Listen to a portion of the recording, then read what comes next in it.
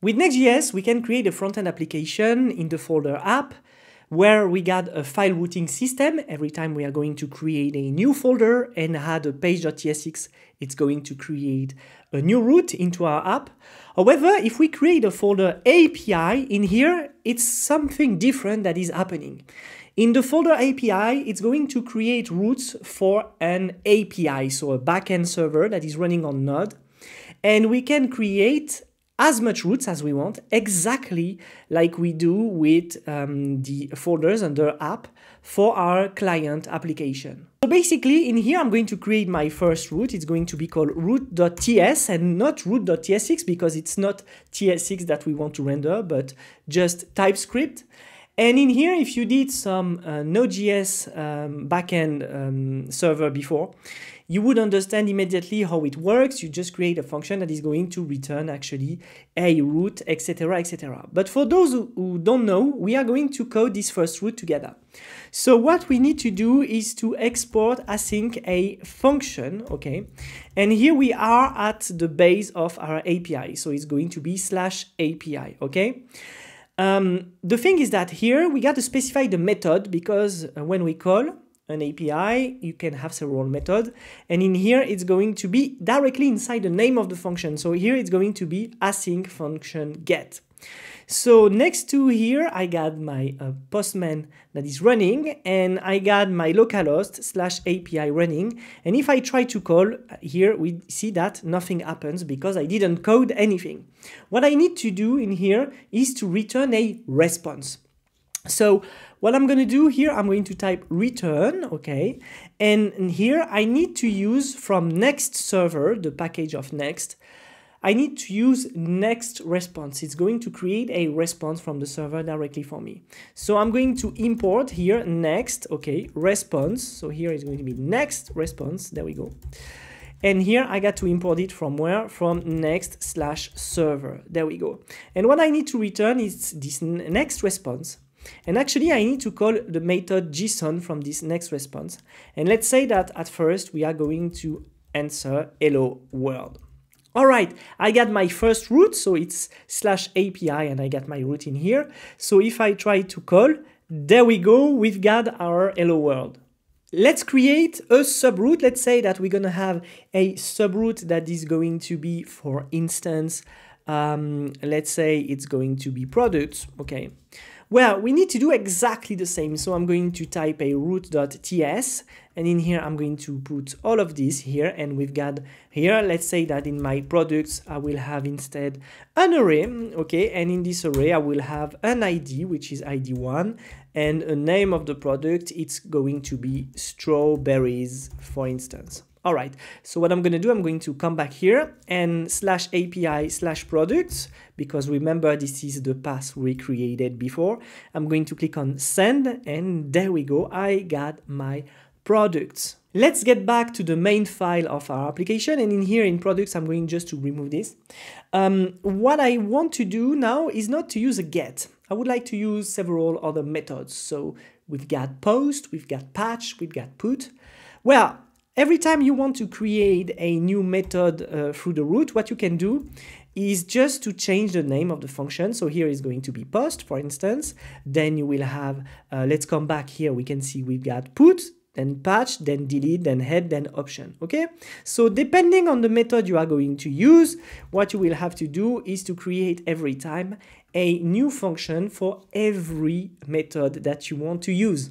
Okay, let's stay on post and let's see that what I can do here. I'm going to try to call post and what I would like to catch is a body. So I would like to catch the request uh, when I post here. And what I can use for that is to use the parameter request inside the function post. Okay, so here request is of type request and there we go. So how do I catch this request? Well, just by using this request in here. So let's say that I would have some data and here it's going to be this. I would await to transform my request as a JSON to read the data that I got in here. So let's say that I want to return the data after.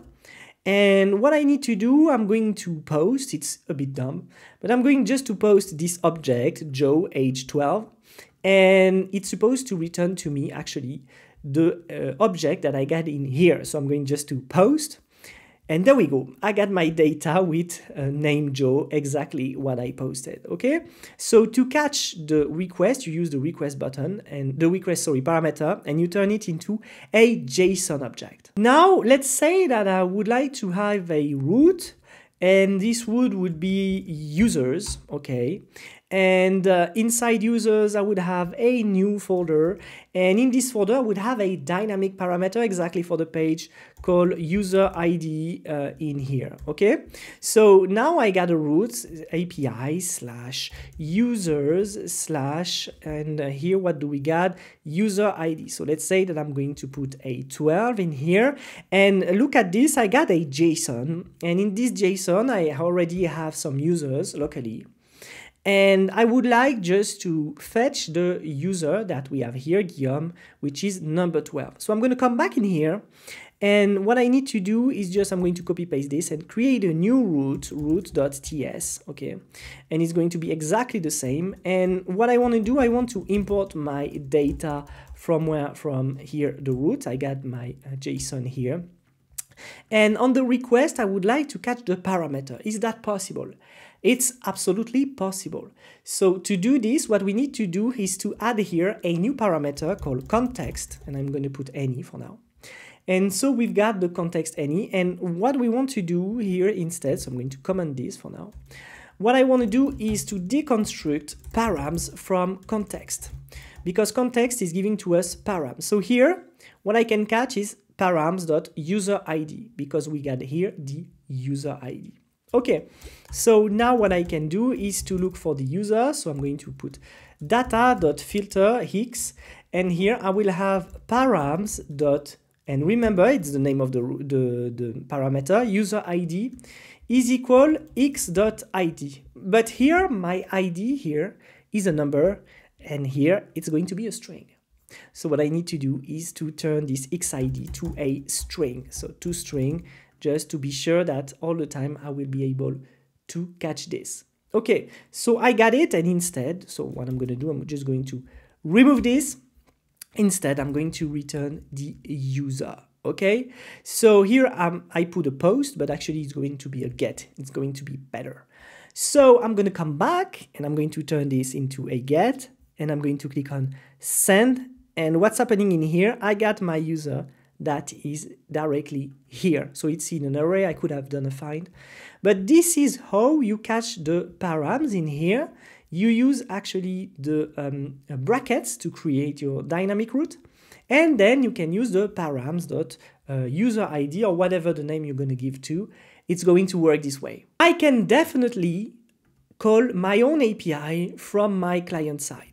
So let's come back and here on the page I got a button called call my API and I got a function called fetch from API that is going to fetch directly my API, okay? And of course I could fetch any routes that will be created in here inside my app. Okay, so I got my headers and what I do is that when I get my response, I turn my response into a JSON and I got my data in here. So here we see that I'm trying to fetch uh, API, but let's create a new route. So I'm going just to use this one at users. So at users, I'm going to create a new route.ts and you understood that now you will have to get actually um, you would have to get uh, every time a route.ts file on every folder. So here it's going to be data and I'm just going to respond this and actually I'm not obliged to use the request and the context. Be safe because here, if you deploy your application, this route is going to be accessible to anybody that is going to call your API, okay? You would have to work on the cookies and the authentication system if you want uh, that your route stay private. All right, so we've got this and what I'm going to do directly in here, I'm going to call API slash users and we're going to look at the data. So I'm going to click on call my API and suddenly I got my array with the two users that I got here. So you can definitely call your own API from your front-end application for the reasons that you want, but it's totally possible to create a backend side on your application in Next.js and still running an application on the front end.